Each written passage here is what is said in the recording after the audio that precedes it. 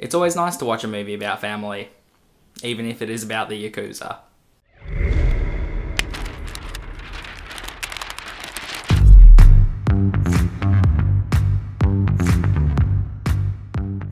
So, A Family is a new Japanese drama that was just released on Netflix here in Australia. It follows the story of a man named Lil Ken. His well, his name is Kenji Yamamoto, but everybody refers to him as Lil Ken. About how he gets caught up and swept up in the Yakuza lifestyle, where they take him in as sort of a, a young man who'd lost his way and who had no family, and they became his new family for him. The movie jumps between certain time periods. So we start off in the 90s, then we get the halfway point of the film is sort of around the mid 2000s.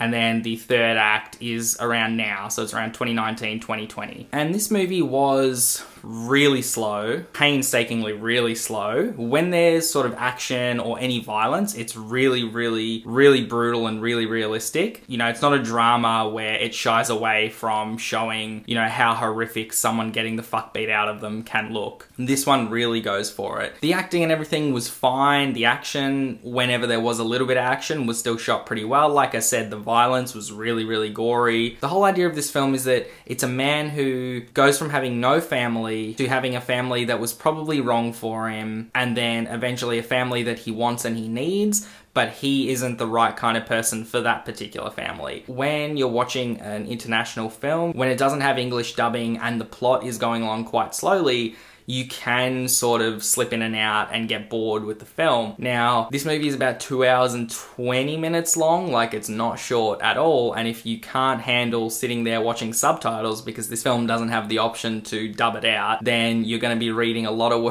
words for a lot of the movie. The love story angle that's going on in this film also doesn't make a lot of sense because there's a point in the film where Yuka, who is the love interest for Lil Ken's character, she tells tells him that she wishes she never fell in love with him. And throughout the film, there are no scenes that we get to see where there's any sort of, you know, potential for them ever really becoming a couple because she was a girl who worked at one of the clubs that his boss owned. She was essentially like a booth girl who sits there with you, pours you drinks, whatnot, is there to look nice so that you can have this sort of air of, you know, funness about your night. And he does take a liking to her, but he doesn't ever show her, you know, any kind of love or he doesn't treat her really well and take her out and they go on dates and anything like this. There is one moment before he goes to jail where they sleep together, or it's implied that they sleep together. You don't even see it happen. It's great to have an emotional conflict like that where a character is still so in love with someone, but they can't excuse them for the things they've set in motion that have affected them personally. But you can't say that the characters are in love if we don't get to see them experience that previously. It's only when Kenji's grown up and he's been to jail and he's matured and whatnot that he's looking to settle down and looking to want to have a family and want to experience all these things.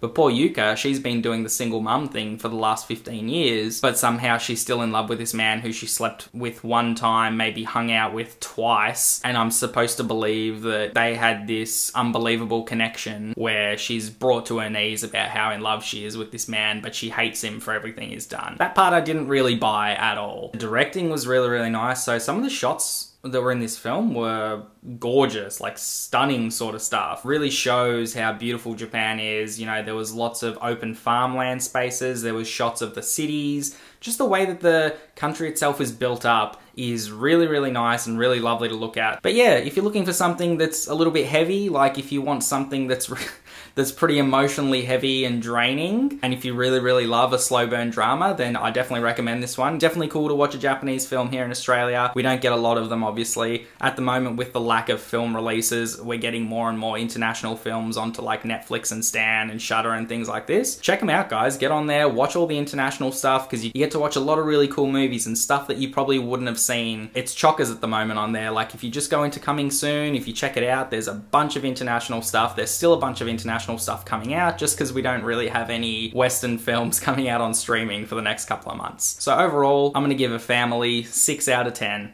So let me know guys, have you watched A Family? What do you think of it? Comment down below and let me know. Have you seen any other Japanese films? Like do you prefer the live action to the anime or vice versa? So as always guys, just click through to another video and we'll keep having some fun. I'll see you on the next one.